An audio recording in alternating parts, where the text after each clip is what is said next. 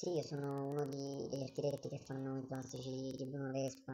Eh, Non è facile per me raccontare questa storia perché lavoriamo molto sotto pressione e sì, siamo una squadra.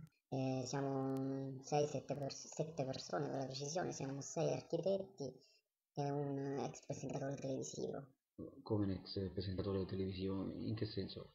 Eh sì, praticamente mm, eh, c'è questo ex presentatore televisivo che ha avuto la sfortuna nella sua vita di stare insieme a una soubrette straniera che poi si è messa con un parente stretto di un presidente del consiglio e quindi per punizione, per punizione del presentatore è stato sbattuto qui in questo stanzino a fare i plastici di Vespa. Scusi, ma sta parlando di Giorgio Mastrota per caso? Ecco, vorrei evitare di, di fare nomi perché insomma capisce che è una situazione delicata. È difficile fare i plastici per Bruno Vespa.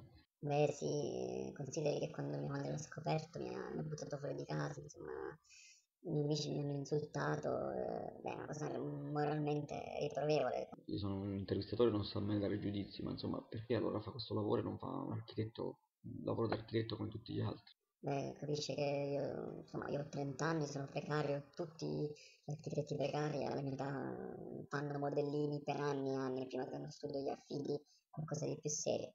E io sono stato un po' ingannato dalla mia dalla voglia di entrare nel, nel- nel dorato mondo de- dello spettacolo. Quando ho ricevuto questa offerta di lavoro ho pensato subito, Bruno Vespa era un po' il mio mito, porta a porta lo seguivo tutte le sere, io ho la libreria piena dei libri di, di Paolo Perret, e poi che dire, Alba Parietti è stata il mio sogno erotico della prima adolescenza, tutte le prime eiaculazioni le ho fatte con- pensando ad Alba Parietti, quindi, quindi ho pensato che poteva essere un modo per entrare veramente nel mondo dello spettacolo dalla, dalla porta principale, ma non me ne sono pentito. Ecco, se n'è pentito, perché se n'è pentito?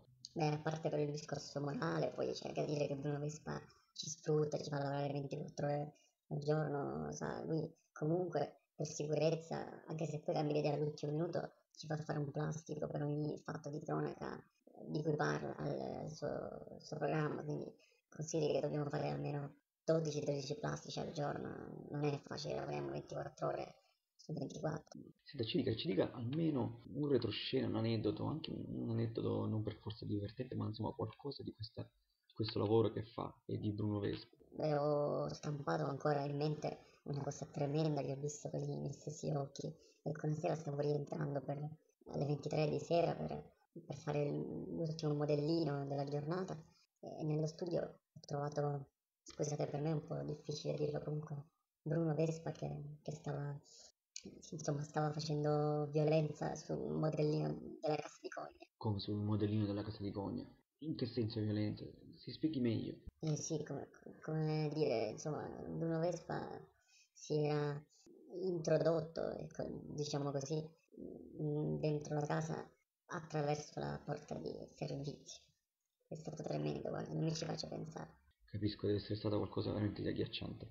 Senta, le faccio l'ultima domanda. Eh, Su che modellino sta lavorando in questo momento?